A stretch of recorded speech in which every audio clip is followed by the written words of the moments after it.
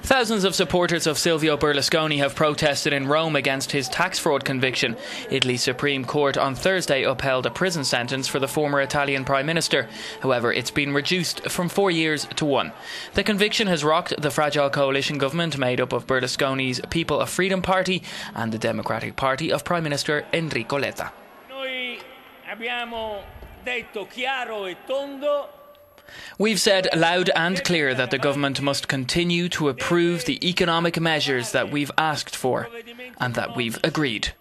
che abbiamo richiesto che sono stati concordati. Io sono qui. I'm here. I'm not going anywhere and I'm not giving up.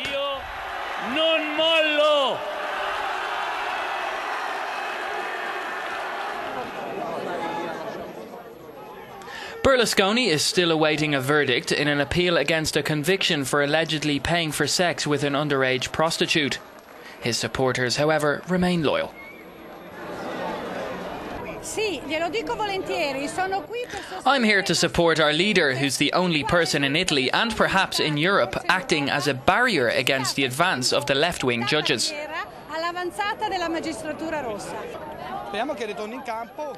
Let's hope he'll return with new faces and not the old ones who should retire and make space for the next generation.